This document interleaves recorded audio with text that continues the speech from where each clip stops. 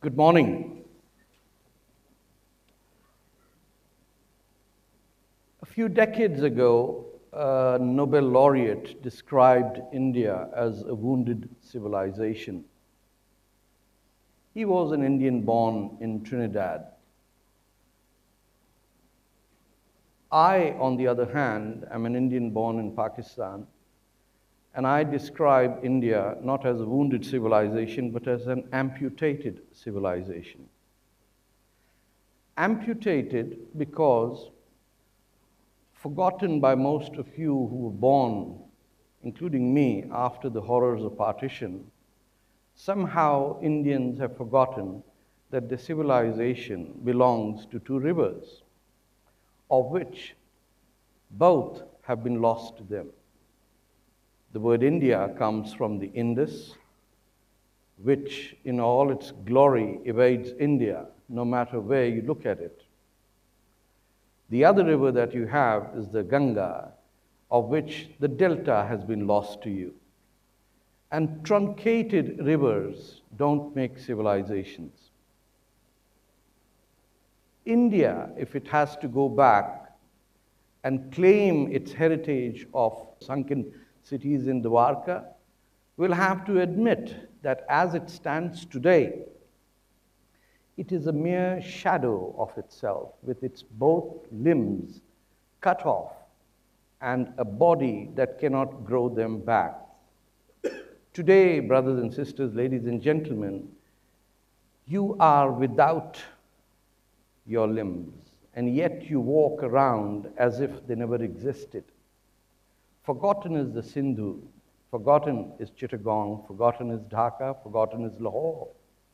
The city of Ram's son is no longer home to any of you because you have bought into the notion that civilization doesn't matter.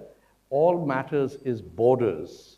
And borders don't really make civilization. Civilizations occurred when borders didn't exist. In 1947, a million people were killed in the name of hatred by just one man. But today we blame the man who opposed that man. Muhammad Ali Jinnah is not criticized, Mahatma Gandhi is. Even the creator of TED owes his birth to that India that we have lost. He goes to Pakistan sometimes, which is not a name of a country, it's an acronym. And which, by the way, changed its name to Bangladesh in 1971 and what was left of Pakistan is called now the truncated state of Pakistan.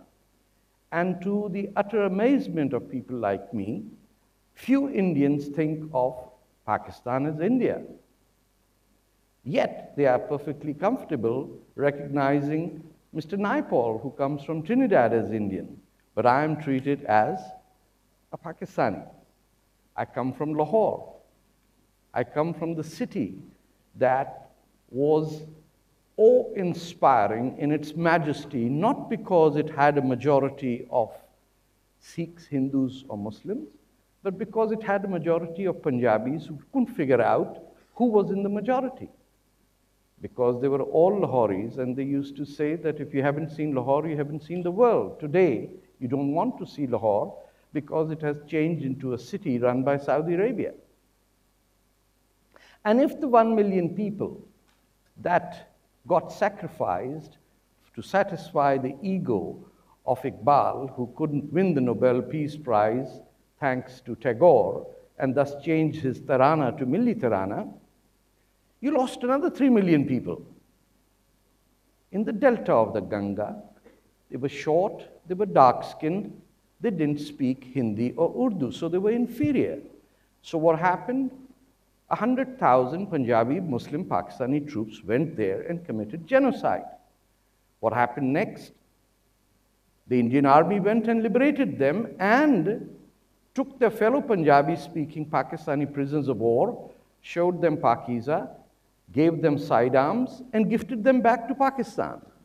5,000 war criminals were freed by the Republic of India because no Indian general could speak Bangla and no Mukti Bahini fighter could speak Punjabi or Hindi or Urdu. Thus, we created a monster again and again and again. We gifted Pakistan as a civilization with 5,000 war criminals who had raped, murdered, and slaughtered people for just one reason. They were dark skinned, they were short, and they were considered of an inferior caste. Let no one ever forget that. If you want to talk of an Indian civilization, today the way Bangladeshis are referred to in India is a disgrace for Indian civilization. A Bangladeshi is more of an Indian than the Frenchman who lives in Chennai and writes about the Vedas. Yet we dare not ever make a mockery of a white man, and we take deep pleasure in condemning the dark skinned person. And this will not happen until and unless the torn off limbs of India are not necessarily rejoined, but recognize that those are my limbs that the British cut off and left us without our arms and convinced us that we can still live. All we have to do is invade Goa. And we will be great. My brothers and sisters, forgotten in this entire tragedy of the last 70 years is a war that is being fought right now. A war in Balochistan, a state invaded by the Republic, Islamic Republic of Pakistan in 1948, a country that became independent three days before India became independent, a country a place that had Hindus, Muslims, Christians, Zoroastrians living for hundreds of years with never one communal incident in the last three to 400 years. That is the place that India forgot. That is the place that the state of Kalat wanted to join the Union of India. But the Indian Prime Minister said, wo bahut dur hai. Jao. On the other side, Badshah Khan had to tell Mr. Gandhi, you have left us to the wolves. Mr. Gandhi shrugged his shoulders. Mr. Nehru was content. They had a republic. They had gotten rid of the Muslas. And who wanted to live with another 200 million people who could cause disunity? So, Indian civilization today cannot be captured, cannot even be conceived. This India, incredible with a dot and an I, is useless sloganeering by the advertising agencies that have ruined you. Because India today is the river Indus. And not today, not tomorrow, not in 10 years, or maybe 100 years or 1,000 years. That river will continue to flow and mark my word, the wound, the amputation done by the British by the creation of the Islamic Republic of Pakistan, which today is the mother lode of international terror and is the sample of ISIS that threatens the entire world, exists because India thinks that it understands its neighbor. India doesn't even know its neighbor. Indians would not even be able to tell what is the language spoken just west of Rajputana or Rajasthan. Indians don't know that west of Fazilka, the same people live, or Taran is next to Karan, is next to Kasur, the birthplace of Bulle Shah. You have forgotten, you have not just abandoned us to the wolves, you have started feeding the wolves by your Aman Ki Asha. You have today abandoned 50,000 Baloch young men who have been killed by the Pakistan army. 18,000 men have disappeared. Baloch men and women also are dropped from military helicopters in the sands and mountains of Balochistan. And I was shocked to find out at the center of South Asian Studies at JNU that not a single student know or knew where was Balochistan or what was the state of Kalat. Where the Nanika Mandir, 900 year old temple, is today guarded by a thousand Muslim Baloch who have told the Pakistanis that on this land not a single minority blood will be shed. Take your rotten Pakistan and take it back to Uttar Pradesh, Nawabs, and the Muslims of Punjab. We do not want this. We are Indians. And they wrote on a mountain top in black paint. Perhaps I might not vote for Mr. Modi, but it was written Abki Bar Modi Sarkar. And in India, nobody could read it. They thought it was Allahu Akbar. Because everything written in Urdu Arabic is Islamic, you see. No Indian knew what was happening. How many know that there are Baloch families living in Gujarat, in Maharashtra? How many know that the African community of uh, Surat is Baloch? No one. So, my dear friends, brothers and sisters, I am saying that the independent state of Kalat that existed on March 27, 1948, that was invaded by the Pakistan army after it had been repulsed from the state of Jammu and Kashmir, which you remember all the time, but you forget the state of Kalat. I urge you to rise up, talk to your friends and families, and every Indian who meets and says, not tomorrow, maybe tomorrow, but not even if in a hundred years, but we will never, ever, ever forget that an Indian is an Indian irrespective of whether he's in Trinidad or in Pakistan. Because an Indian is defined by the river Indus. And we are Indians whether we are Muslim, Hindus, Sikhs, or atheists. Or we in, believe in flying horses or talking snakes. It does not matter because we never invaded any land anywhere in the world. And those who invaded us and murdered us and committed atrocities on us, we will not celebrate them.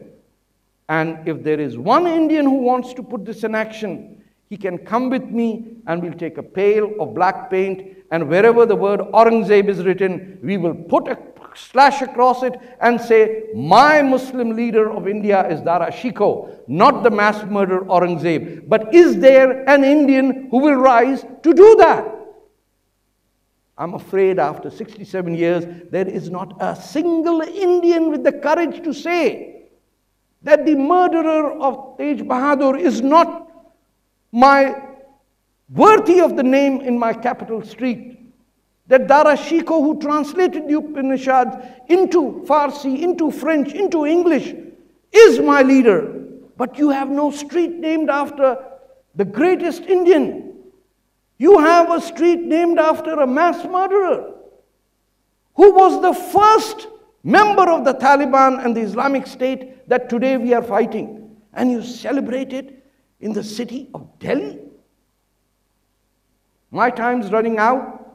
I just have to say that it has been a pleasure to be in this great city of Patiala, to be in the Punjab where my forefathers lived, to be in a state where the Hindu, Muslim, and Sikh, Christian, Zoroastrian lived as a single family, whether in Patiala or whether in Lahore, whether Rawalpindi or Ludhiana, whether it was Ambala or whether it was Kasur. Bulle Shah has been forgotten by the people of India? And your children are not named Dara Shikoh? Name them. And Indian Muslims have to lead this fight. For goodness sake, stop naming your children after Arab invaders. Name them after people who fought the Arab invaders.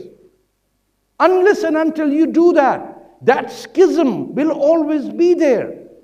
You cannot be divided into communities based on religion. You should be based, the communities of India should be based on ideas, whether you're a socialist or you're a free market enterprise, whether you believe in environmentalism, that is your community. or whether you believe in the complete abolition of the caste system, not from the laws, but from your minds. So when your daughter marries a black man, you don't go to pray to your God to say, Oh God, let there be a divorce because I want my daughter to be happy. Because India is never going to be a great civilization unless and until India's daughters are free to choose who they love and irrespective of the skin color, caste, religion, or background. Because we are sons and daughters of a civilization that we inherited. We didn't create it. The ones who created are lying dead in the mounds of Mohenjo-Daro. We are the great, great, great, great grandchildren of great people. And unfortunately, we are behaving like midgets and pygmies because we do not know that we are in a gold mine looking for charcoal pieces. Get rid of your smallness and be big enough to take hold of India and make it your future and say to the world, never again will someone have to urinate in the mouth of a fellow Indian. Because as long as that can be done, as long as a woman can be raped, India is not a civilization. India will be a civilization when a woman can walk on the streets of Delhi irrespective of what she wears. And never would a rich man scold every man that is poorer than him simply because he can do it. Because as long as you insult a fellow Indian, you cannot claim to be an Indian of dignity. I am a foreigner in some ways to your land, and I can tell you, in two months living in India, I have seen every man who can shout at a poor man exercise his power and shout and scream. People are terrified of the rich people. As long as the rich and elite of this country consider working poor as worthless, dark skinned, lower caste people, you are not doing justice to those who gifted you with this amazing land covered and sheltered by the great Himalayas and irrigated by the Indus and the Ganga and the Narmada and the Kerala Ghats and the Tamil Nadus. A Sri Lankan, a Bhutanese, a Sikkimese, a Maldivian, a Pakistani, they're all Indians. So never ever attribute Indianness to being just within the borders of what is India today. India is much, much larger. It is as large as the Mars orbit where your satellites go round and round. That is what is India. Thank you very much for giving me your time.